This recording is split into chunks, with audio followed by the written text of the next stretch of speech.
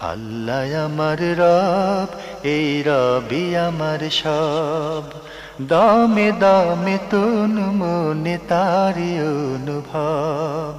তোমার দুনিয়াতে আমি যেদিকে তাকাই, অথই নিয়ামতে ডুবে আছি সবাই। পাক পাখালির গানে শুনি তসবি কলো রব তসবি কলো রব আল্লাহ আমার রব এই রবি আমার সব। আসসালামু আলাইকুম। প্রিয় দর্শক আপনারা কেমন আছেন? সবাই ভালো থাকুন সেটাই আমাদের একান্ত কামনা। শুরু হলো আনটিভি আয়োজিত এবং লাভ হলো নিবেদিত অনুষ্ঠান আপনার জিজ্ঞাসা। আপনাদের সাথে আছে আমি জানুল আবেদিন আজাদ। আর আজকে আমাদের মাঝে অতিথি হিসেবে উপস্থিত আছেন বিশিষ্ট আলেম ডক্টর আবু বকর মোহাম্মদ জাকারিয়া। আসসালামু আলাইকুম রহমতুল্লাহ বরকাত প্রিয় দর্শক, চলুন তাহলে জিজ্ঞাসার জগতে শুরুতে একটি ইমেল এটি পাঠানো হয়েছে ঢাকা থেকে, নাম প্রকাশে অনিচ্ছুক লিখেছেন। একটি প্রশ্ন করতে চাই, আর তা হলো, আমার স্ত্রীর সাথে আমাদের শয়ন কক্ষে বাঘ বিতণ্ডাকালে রাগের মাথায় তিন তালাক বলি, সেখানে অন্য কেউ উপস্থিত ছিল না। একই রূপ তার প্রায় এক মাস আগে তাকে বাংলায় একবার বলেছিলাম, তোমাকে ছেড়ে দিলাম। এখানে কি তিন তালাক হয়ে গিয়েছে না একটিও হয়নি? আমি আমার স্ত্রীকে রাখতে চাই। এখন আমাদের করণীয় কি? আমাদের একটি ছোট বাচ্চা আছে। এখন আমাদের বিছানা আলাদা। এ সম্পর্কে মশালা জানতে চাই। বিসমিল্লা আলহামদুলিল্লাহ ওসলাত আসসালাম রসুল্লাহ ভাই, তালাকের মাসালা অত্যন্ত জটিল মাসালা। এই জন্য যে শব্দ কি লিখেছেন সেটা থাকতে হবে। আপনি কি বলেছেন এটা আপনি বলে দিলে হবে না। আপনি কি বলেছিলেন শব্দটা উচ্চারণ থাকতে হবে যে এই শব্দটা আমি বলেছি। সেটার উপর নির্ভর করবে আপনার বিধান দেয়া। আপনি প্রথমে বলেছেন যে এর আগে আপনি বলেছেন যে আগে কি বলেছিল? তোমাকে ছেড়ে দিলাম। তুমি ছেড়ে দিলাম। আপনি যে আগে বলেছেন তোমাকে ছেড়ে দিলাম এটাকে সার্রাহতুক এটা কেনায় তালাক বলা হয়। আর কেনায় তালাকের নিয়ম হচ্ছে আপনার যদি যখন নিয়ত থাকে তালাকের সেটা তালাক হয়েই যাবে। নিয়ত না হলেও এক তালাক হয়ে যাবে। আর নিয়ত থাকলে নিয়ত কয় তালাকে ছিল, সেই তালাক অনুসারে অনুষ্ঠিত হয়ে যাবে। আর পরবর্তী যেটা বলেছেন যে রাগের মাথায় স্ত্রীকে নিজস্ব ঘরে বসে দেখে দিয়েছেন, সন্তান আছে। সন্তান সন্ততি আছে না আছে, এটা শরীয়তের বিধান নয়। শরীয়তের বিধানটা আপনি কি বলেছেন সেটার উপর নির্ভর করবে, স্ত্রী থাকবে কি থাকবে না। আপনি রাগের মাথায়, সাধারণ রাগ মানুষ করে, সাধারণ রাগের মাথায় যদি কোনো কেউ তালাক দেয়, তালাক হয়ে যাবে। এবং সেটা এক তালাক হতে পারে, তিন তালাক হতে পারে, অবস্থা অনুসারে আপনি কি বলেছেন সেটার উপর? আপনি বলেছেন যে হয়তো বলেছেন তালাক তালাক তালাক। এরকম বলে কিন্তু তালাক হয় না। অথবা আপনি বলেছেন যে তালাক দিলাম তালাক দিলাম, তালাক তাও হয় না। যদি বলে যে তোমাকে তালাক দিলাম, এরকম যদি কেউ বলে তখন শুধুমাত্র তালাক হবে। এবং অর্থ নির্ধারণ করে দিতে হবে কয় তালাক দিলাম এটা বললে তখন সেটা অনুসারে তালাক, একবার বললে এক তালাক হবে। তো আগের মশালাটা আপনার কিন্তু তালাক হয়ে গেছে অলরেডি এক তালাক হয়ে গেছে অলরেডি আগের মাসে। যেখানে সার্রাহ তুক আপনি বলছেন তোমাকে ছেড়ে দিলাম সেখানে এক তালাক হয়ে গেছে। এখন আপনি যেহেতু এক তালাক হওয়ার এক তালাকে বায়ন বলে এটাকে বায়ন হওয়ার কারণে আপনি এখন নতুন করে বিয়ে করে তাকে ঘরে সংসার করতে পারবেন নতুন দিয়ে নতুন মাহার মাহার দিয়ে এবং নতুন অনুমতি নিয়ে নতুন বিয়ে করে ঘরে নিয়ে আসতে পারবেন। যেহেতু এক তালাকের নিয়ত থাকে। আর যদি ওখানে তিন তালাকের নিয়ত থাকে আপনি আর কখনো তাকে আনতে পারবেন না। বিষয়টা মনে স্পষ্ট হয়েছে আপনার কাছে। এখানে একটি বিষয় এখানে ইদ্যতের বিষয় থাকে না যদি হ্যাঁ ইদ্যতের কথাই বলছি। যেহেতু অনেক লম্বা টাইম পার হয়েছে এই জন্য এক মাস এক মাস আগে। এক মাস আগে ও অনেক এক মাস আগে।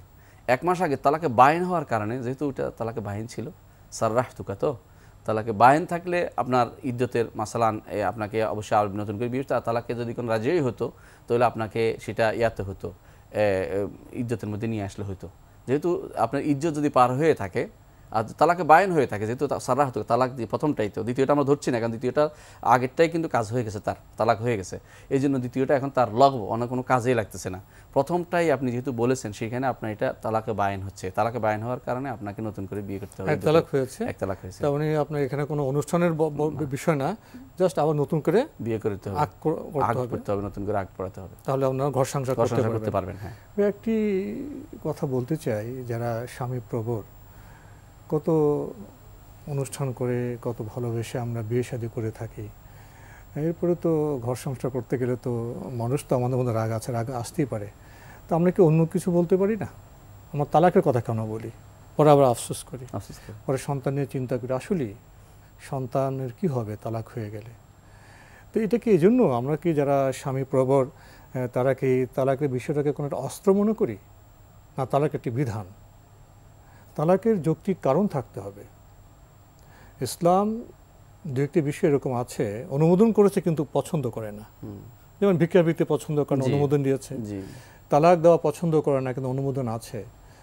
তো আমরা যারা স্বামী প্রবর তাদেরকে আর একটু বিবেচনা প্রসূত হওয়া উচিত নয় ভেবে কাজ করা উচিত নয়।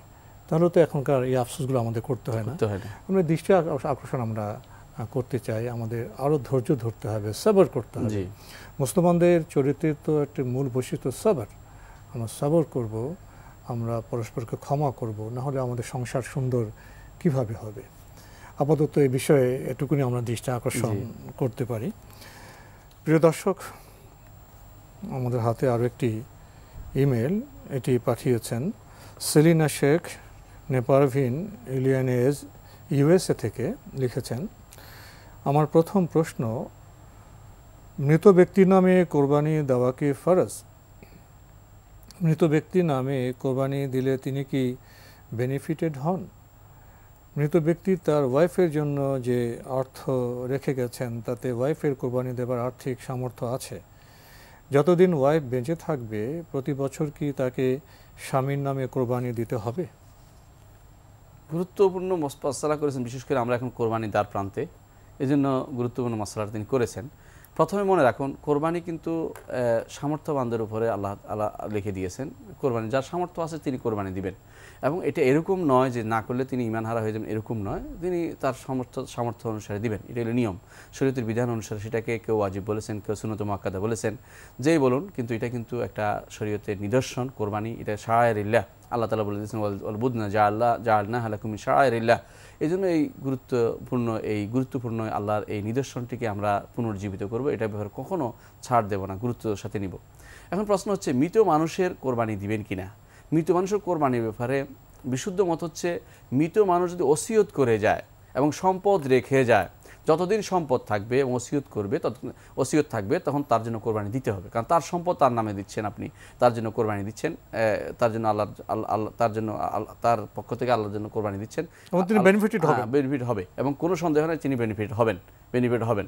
এখন যদি ওসিয়ত না করে যায় প্রশ্ন হচ্ছে ওসিয়ত করেন নাই এখন আপনি কি দিতে বাধ্য কিনা? না ওসিয়ত না করে দিলে আপনি দিতে বাধ্য নন। বরং এহসান দয়া বিষয় বিষয় রয়েছে। মৃত মানুষ যে কোনো ভালো কাজ করলে তার সব আপনি না ভালো কাজ যেন সব পাবেন সেই হিসেবে তিনি পাবেন কিন্তু আপনি ওসিয়ত না করে গেলে আপনি দিতে বাধ্য নন। আপনি যদি কোনো বলেন যে আমার আদায় করা হয়েছে আমার আত্মীয় স্বজন আদায় করেছে এখন আমি আমার বাবার পক্ষ থেকে একটা কোরবানি দেই তাহলে দিতে পারেন আলহামদুলিল্লাহ কোনো সমস্যা নেই। এটাই হলো সমস্ত ইমামদেরই এই মত যে মৃত ব্যক্তির পক্ষ থেকে কোরবানি করা যাবে কিন্তু এটা ফরজ কেউ বলেন নাই।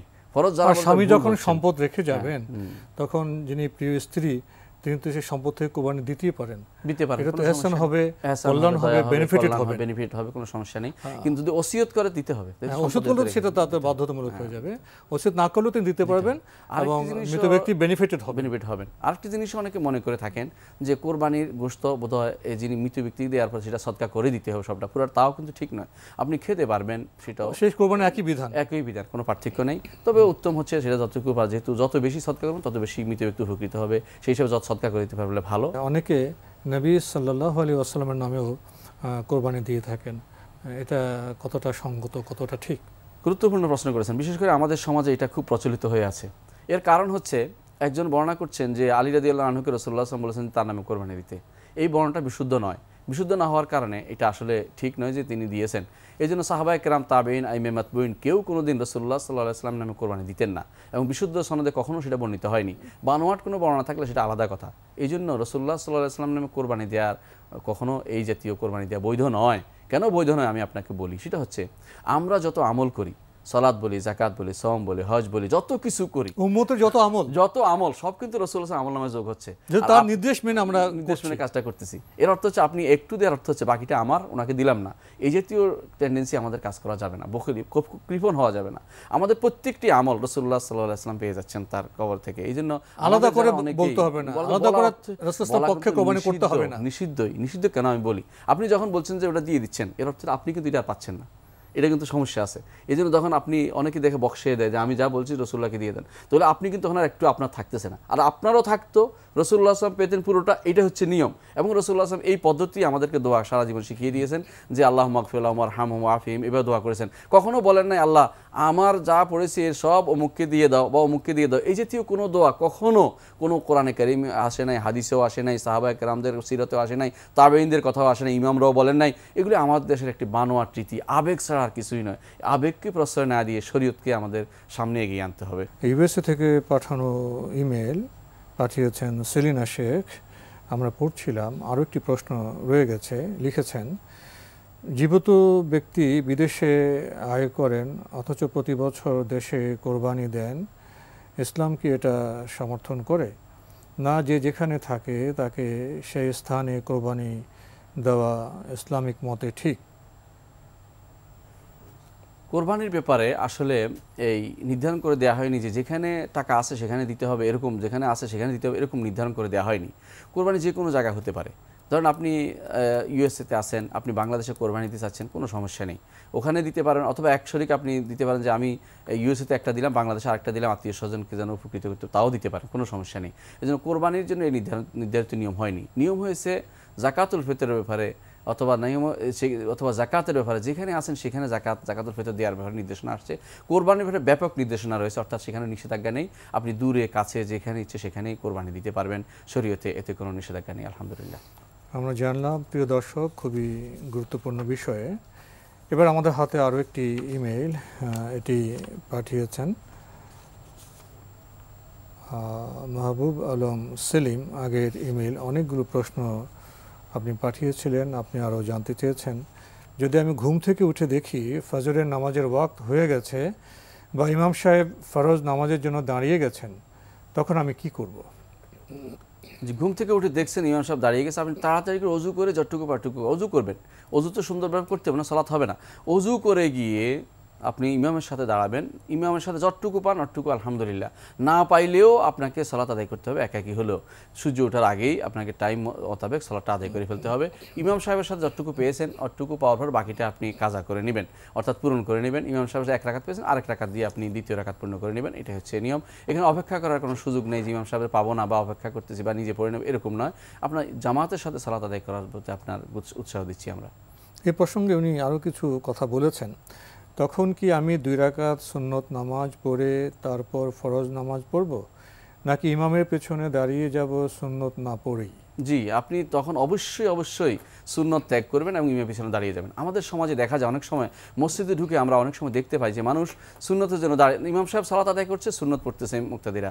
এটা একেবারেই অবৈধ। কোনো ইমাম সেটা বলেন নাই। মানে ইকামত হয়ে যাওয়ার পরে আর সুন্নত পড়তে পারবে কোনো ইমাম বলেন নাই। ইজা উকিমতি সালা ফালা সালাত ইল্লাল মাকতুবা। যখন সালাত কায়েম হয়ে যাবে তখন মাকতুবা ছাড়া ফরজ ছাড়া কোনো সালাতে মসজিদের ভিতরে কখনো পড়তে পারবেন না। আবদুল্লাহ ইবনে মাসুদ আদিয়াল্লাহ সহ বেশ কিছু তাবিনদের কয়েকজন সাহাবেন কয়েকজন তাবিনকে দেখা গেছে তারা যখন এরকম অবস্থা হয়তো বাইরে তারা কখনো সলাৎ সুন্নত পড়লে সেখানে তারা সুন্নত পড়ে নিতেন। ইমাম সাহেবকে প্রথম রাখাতে পাবে এরকম মনে করলে তারা সেটা করতেন। কিন্তু তারা কখনো মসজিদের ভিতরে, ইমাম সাহেবের পাশে দাঁড়িয়ে বা পিছনে দাঁড়িয়ে কখনো তারা এই কাজটি করতেন না বা অন্যরা কাউ কেউ কোনো ইমাম অনুমোদন করেন নাই যে একই সময় দুই সালাত আদায় হবে, একখানে ফরজ, একখানে সুন্নত, এটা কখনো অনুমোদিত নয়। বরং সই হাদিসে নিষেধ আসছে। রসুল্লাহ সাল্লাহ আসলাম বলেছেন ইজা ওকিমতি সলা ফালা সলাত তাইলাল মাকতুবা। যখন সলাৎ কায়েম হয়ে যাবে, তখন ফরজ সলাৎ ব্যতীত আর কোনো সলাৎ নেই। এই জন্য যখন ইমাম সাহেব এই মুক্তা মুয়াজ্জিন সাহেব বলছেন আল্লাহ আকবর আল্লাহ আকবর একামত দিচ্ছেন সাথে সাথে আপনার সালাদ ত্যাগ করে আপনি ইমাম সাহেব তখন আপনি ফরজ নামাজ পড়ে ফরজ নামাজ পড়ে। পরে সুন্নত পরে আপনি সুন্নত পড়বেন প্রয়োজনে পর পরে পড়ে ফেলতে পারবেন অন্য হাদিসে এটা সব অনুমোদন রয়েছে।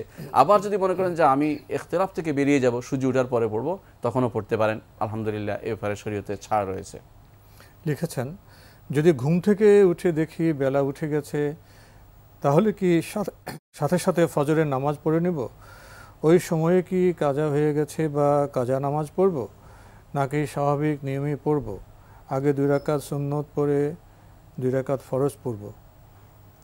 যেহেতু আপনি ঘুম থেকে উঠে দেখেন সূর্য উঠে গেছে, সেহেতু আপনার সময়টা পার হয়ে গেছে। আর সময়ের বাইরে গেলে অটোমেটিক সেটা কাজা হয়। আপনি নিয়ত মুখে কিছু উচ্চারণ করতে হবে না। সময়ের বাইরে যখনই পড়ছেন, সেটা কাজাই হয়ে গেছে। অর্থাৎ আপনার এটা আদায় হয় নাই, বরং কাজা হয়েছে। এই জন্য আপনাকে নিয়ম মোতাবেক প্রথমে সুন্নত পড়বেন, তারপর ফরজটা পড়বেন। লিখেছেন, বাথরুমের ভেতরে যদি উলঙ্গ হয়ে গোসল বা কাপড় বদলানো হয়, তবে কি কোনো পাপ হবে? সেই বাথরুমে বাইরে থেকে দেখার কোনো সুযোগ নেই। একমাত্র আল্লাহ পাক ছাড়া জানালে উপকৃত হব। জি বাথরুমে আপনি কাপড় ছাড়ার সময় বিসমিল্লা বলবেন। এটা সে হাদিসে সাব্যস্ত হয়েছে। কারণ কাপড় খুলে বসাটাই হচ্ছে ওয়াইজ। কারণ কাপড়ে ময়লা লাগতে পারে পেশাব লাগতে পারে ছিটা পড়তে পারে। এই জন্য কাপড় খুলে যদি এখানে দেখার কোনো কিছু নেই সেখানে কাপড় খুলে বসাটাই ওয়াইজ। পরিচ্ছন্ন থাকার জন্য এটা বেশি উপযোগী। এই জন্য এখানে আপনার এই কোনো একটা এটা সুযোগ নেই। যারা বলে যে আল্লাহকে বেশি লজ্জা করা উচিত এই সমস্ত হাদিসগুলি বিশুদ্ধ নয়। বরং কাপড় খুলে সুন্দর মতে রেখে নিজে মানবিক সীমাবদ্ধতা সীমাবদ্ধতা এটা করে আপনি সুন্দরভাবে আপনি পরিচ্ছন্ন হয়ে আপনি গোসল- অজু গোসল বা সব করে নেবেন কোনো সমস্যা নেই কাপড় পরে নেবেন আপনার অজু হয়ে যাবে কোনো সমস্যা হবে না। এই জন্য কাপড় খোলাতে বাথরুমে যদি কোনো দেখার কোনো কিছু না থাকে তো কোনো সমস্যা নেই তাহলে আলহামদুলিল্লাহ গোসল করার সময় উলঙ্গ হয়ে গোসল করা যাবে? যাবে কোনো সমস্যা নেই আলহামদুলিল্লাহ। লিখেছেন যদি কোনো দিন বেতের নামাজ ভুলবশত না পড়া হয় তবে কি করব? ভিতির নামাজ হচ্ছে বেজোর নামাজ। রাতের বেলা বেজোর এক টাকা দিয়ে বেজোর বা তিন টাকা দিয়ে বেজোর করা, বা নয় টাকা দিয়ে, বা ছয় টাকা সাত টাকা দিয়ে, বা পাঁচ টাকা দিয়ে যে বেজোর করার নিয়ম, হাদিসে এসেছে রসুল্লাহ সাল্লাহ ইসলাম থেকে সেভাবে আমাদের গুরুত্ব দেওয়া উচিত। এবং ভীতির সবসময় ত্যাগ করা, এটা কিন্তু ভালো লক্ষণ নয়। ইমাম আহমদ ইবনে হামল রাহমাহুল্লাহ যারা ভীতি ত্যাগ করতেন তাদের সাক্ষী গ্রহণ না করার কথা বলেছেন। অর্থাৎ তারা মরুয়তপূর্ণ মানুষ নয়। মনে রাখবেন, যদি রাত কোনো কারণে আপনার ভিতিরের সলাতে ছুটে গেছে, দিনের বেলা আপনি যদি ভিতির পড়েন, তাহলে কিন্তু দিনের ভিতির আছে একটা মাগরিব। তা নিয়ে ডবল হয়ে যায়, অর্থাৎ জোর হয়ে যায়। এই জন্য দিনের বেলা যখন আপনি ভিতির পড়বেন, ভিতির আপনি করবেন, তখন দুই রাকাত পড়বেন। কেন দুই রাকাত পড়বেন? যাতে দিনের বেজোরটা ঠিক থাকে। আপনি দিনে এক রাকাত পড়লে তো মাগরিবের সাথে মিলে এটা জোর হয়ে গেল। এই জন্য এই যে করা যাবে দিনের বেলা যখন আপনি ভিতিরের কাজা করবেন, আপনি অবশ্যই জোর পড়বেন বেজোর পড়বেন না। লিখেছেন, আমার অফিসে এবং বাসায় দুই জায়গায় ইংলিশ কমোড, আমি যখন টয়লেট করতে বসি, কমোডের ভেতরে যে পানি থাকে, মল পরে কখনো কখনো ওই পানি শরীরে লাগে। পরবর্তীতে আমি সেই সব জায়গা ভালো করে ধুয়ে ফেলি। এখানে আমার প্রশ্ন, তবে কি আমার শরীর নাপাক হয়ে যাবে? দেখুন কমরের ভিতরে পানি থাকতেই পারে। মানে সাধারণত যদি প্লাশ করা হয়, ময়লা চলে যায়, সেখানে অন্য পানি আসে। পরে সেই পানিটা কিন্তু নাফাক নয়। কারণ প্লাশ করার পরে পানি পরিপূর্ণভাবে চলে যায়, সাধারণত এটাই নিয়ম। এরপরে আপনার যদি ব্যবহার করেন, সেখানে পানি ছিটে আসছে, যদি ময়লা যদি আসে, তো তো অবশ্যই নাফাক। আর যদি সাধারণ পানি উপরে দেখছেন, সেটা কিন্তু নাফাক নয়। যতক্ষণ না আপনার কাছে নাফাক বলে শিওর হচ্ছেন যে এটা নাফাক রয়েছে। হ্যাঁ যদি লাগে, ধুয়ে ফেলেন, তাহলে আলহামদুলিল্লাহ কোনো সমস্যা নেই। প্রিয় দর্শক, আমাদের হাতে আরও একটি ইমেল পাঠিয়েছেন। মোহাম্মদ রিয়াদ হাসান কুমিল্লা থেকে। লিখেছেন, আমি নিয়মিত আপনাদের অনুষ্ঠানে আপনার জিজ্ঞাসা দেখি, কিন্তু আমি কিছু প্রশ্ন করার জন্য আমার মোবাইল থেকে আপনাদের দেয়া নম্বরে কল করি, কিন্তু কল যায় না। আমার মোবাইল থেকে কি আপনাদের নম্বরে কল করা যাবে? দয়া করে জানাবেন। আপনাদের নম্বরে কল করার জন্য কোড নম্বরটা কি জানাবেন? প্রিয় দর্শক, আসলে আমাদের যে লাইভ অনুষ্ঠান হয়, সেখানে তো অনেক প্রশ্নের ভিড় থাকে। তো সেখানে তো আমাদের নাম্বার দেওয়া থাকে। সেই নাম্বারে আপনার মোবাইল থেকে ফোন করলে তো আসবে। অনেক সময় ভিড়ের কারণে আসে না। এখানে অন্য কোনো বিষয় নেই। ওখানে লেখা থাকে কোন নম্বরে ফোন করলে, কী নম্বরে ফোন করলে আমরা পাবো। একটু চেষ্টা করতে হবে, পরিশ্রম করতে হবে। আর না পেলে তো আমাদের এই বিকেলের যে অনুষ্ঠান সেখানে চিঠির মাধ্যমে ইমেলের মাধ্যমে আপনাদের মনে জায়গা প্রশ্ন আপনারা পাঠাতে পারেন। প্রিয় দর্শক, আমাদের হাতে একটি দীর্ঘ ইমেল এটি পাঠানো হয়েছে প্রবাস থেকে নাম প্রকাশে অনিচ্ছুক লিখেছেন। আপনার জিজ্ঞাসা অনুষ্ঠানে আমি একজন নিয়মিত দর্শক, আমার কিছু প্রশ্ন ছিল। প্রয়োজনীয় কিছু কথা। আমার বাবার বয়স আনুমানিক পঞ্চাশ থেকে পঞ্চান্ন হবে। আমি দেশের বাইরে থাকি আর বড় ভাই দেশে ছোটোখাটো ব্যবসা করেন। আমার আর বড় ভাইয়ের টাকায় সংসার চলে যায়, বাবার টাকার প্রয়োজন হয় না। বাবা যা ইনকাম করেন তা দিয়ে তিনি তার পকেট খরচ চালান। এখন সমস্যা হলো তিনি আগে একটু মাদকাসক্ত ছিলেন, এখন মোটামুটি ওই পথ থেকে ভালো হয়ে গেছেন, কিন্তু তিনি নামাজ পড়তে চান না। বাসা থেকে মা ভাই নামাজের কথা বললে তিনি বলেন, আমার কবরে আমি যাব, আমি হিসাব দেব, তোমাদের এত চিন্তা করা লাগবে না। তিনি বলেন, আমি তো ভালোই আছি, শুধু নামাজই তো পড়ি না। কিন্তু আমি তারই কথা মানতে নারাজ। কেননা নামাজ না পড়া নোজা না রাখার কত বড় গুনার কাজ, আমি তা জানি, তাই আমার ভয় হয় তার জন্য। আমি বাসায় ফোন করলে তাকে ফোনে বলেছি আপনার কাজকর্ম করার দরকার নেই, শুধু নামাজ কালাম পড়বেন। আপনার যত টাকা পকেট খরচ লাগে, সব আমি দেব। এবং কি, আমাদের মসজিদের মোয়াজ্জিনকে দিয়ে তাকে আমি নামাজের দাওয়াত দিয়েছি। দু এক ওয়াক নামাজ পড়লেও আবার ছেড়ে দেন। অবশেষে আমি বুঝতে পারলাম তিনিও নামাজের ভালো জ্ঞান না রাখার চক্ষু লজ্জার জন্য তিনি নামাজ পড়তে চান না। আর আমাদের দেশের মানুষগুলো যেন কেমন নতুন মানুষকে শিক্ষা দেবে কি? বরং উপহাস করে। তা আমি মনে মনে নিয়ত করেছি, আগামী দু তিন মাস পরে দেশে চলে আসব, তাকে সঙ্গে করে নামাজ পড়ব, তাকে দিনের পথে নিয়ে আসব, দিনের শিক্ষা দিব। কিন্তু হঠাৎ এর মাঝে গত, আপনি চোদ্দ সাত দুই তারিখে লিখেছেন, তিনি হার্ট অ্যাটাকে মারা যান। এখন তো আপনি বুঝতেই পারছেন, তার আমল নামার জন্য আমার কতটা ভয় হচ্ছে। তার জন্য এখন আমার প্রশ্ন হচ্ছে, তার জীবনের দীর্ঘ সময়ে নামাজ না পড়ার জন্য নামাজের কোনো কাফারা আছে কি না? তার নামাজের কাফারা হিসেবে আমরা কি করতে পারি? এই সুদীর্ঘ চিঠির মধ্যে উনি যা বলেছেন আমার কাছে খুব ওনার আলহামদুলিল্লাহ আমার সন্তানের যে আবেগ, আকুতি খুব ভালো লেগেছে যে একজন মানুষ জাহান্নামে চলে যাচ্ছে। যে নামাজ পড়ে না সে তো জানাতে যেতে পারবে না কোনোদিনই। তিনি দেশে চলে আসবেন কোনোদিন যেতে পারবে না। ওরা বলছেন অনেক উপহাস করে। বাবা নামাজের নিয়ম কানুন ভালো জানেন অনেক উপহাস করে আমাদের সমাজ এটা কিন্তু আমাদের সমাজ খুব খারাপ কাজ করছে। একজন বাবাকে শিক্ষা দেয় আপনার যে কত দরকার ছিল সাথে নিয়ে তাকে নিয়ে এগুলি কীভাবে পড়তে হয় অল্প অল্প জিনিস করে শিক্ষা দিয়ে কিছু না হোক শুধু কেবল ইমামের পিছনে থাকলেই কিন্তু তার হয়ে যেত। এটুকু যদি থাকতে পারতো। কিন্তু আপনার আবেগ আছে কিন্তু আমরা আল্লাহর কাছে দোয়া করি যেন আপনার বাবা ইমানের সাথে যদি যে গিয়ে থাকেন তার যদি কোনো কসুর থাকে আল্লাহ যেন ক্ষমা করে দেন। এবং আমরা এই দোয়াই করব। হয়তো হতে পারে যে তিনি কোনো কারণে মসজিদে যাইতেন না একাকি নামাজ পড়তেন অথবা কোনো কারণে তিনি জালাতের জানতেন না নামাজ ভালো জানতেন না উপবাস করতে মানুষ ভয়ে যাইতেন না। কিন্তু আমার মনে হয় তার ইমান ছিল যে ইমান থাকে নামাজের পড়তো মাঝে মধ্যে সারা বলছেন কিছু কিছু পড়তে বলছেন।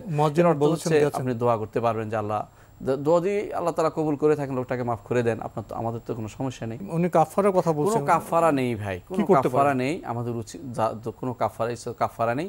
বেশি বেশি করে তার জন্য আল্লাহর কাছে ক্ষমা চান আল্লাহ যেন তাকে ইমানের হারে নিয়ে থাকলে যেন জান্নাত তসিব করে নইলে আর কিছু করার নেই। মনে রাখবেন যে যে সালাত আদায় করে না তার কিন্তু আখিরাত শেষ। পিতার জন্য তো দান সদকা করতে পারে। দান দান সদকা করতে সাধারণ দান সদকা জারিয়া করতে সদকা জারিয়া করতে পারে। তো আজকে আমাদের এখানে শেষ করতে হচ্ছে আপনাকে অনেক ধন্যবাদ। আপনাকে অনেক ধন্যবাদ। প্রিয় দর্শক আমরা এতক্ষণ দেখছিলাম এনটিভি আয়োজিত এবং লাভ হেলো নিবেদিত অনুষ্ঠান আপনার জিজ্ঞাসা। আমাদের অনুষ্ঠান আপনারা এনটিভি অনলাইনেও দেখতে পারবেন ভিজিট করুন W W W dot BD dot com এছাড়া ইউটিউবে এবং আমাদের ভেরিফাইড ফেসবুক পেজেও অনুষ্ঠান দেখতে পারবেন। প্রিয় দর্শক আপনারা চিঠি লিখুন প্রশ্ন পাঠান আমাদের ঠিকানায়। পরিচালক আপনার জিজ্ঞাসা এনটিভি বিএসএসি ভবন সপ্তম তলা একশো দুই কাজী নজরুল ইসলাম এভিনিউ কারওয়ান বাজার ঢাকা এক দুই এক পাঁচ। আপনারা ইমেলও করতে পারেন। আমাদের ইমেল অ্যাড্রেস আপনার জিজ্ঞাসা at NTV BD dot com মহান আল্লাহ আমাদের সবাইকে নিরাপদে রাখুন রাখুন শান্তিতে। আসসালামু আলাইকুম। আল্লাহ আমার রব এই রবি আমার সব। দামে দামে তুন মনে তারি অনুভব। আল্লাহ আমার রব এই রবি আমার সব।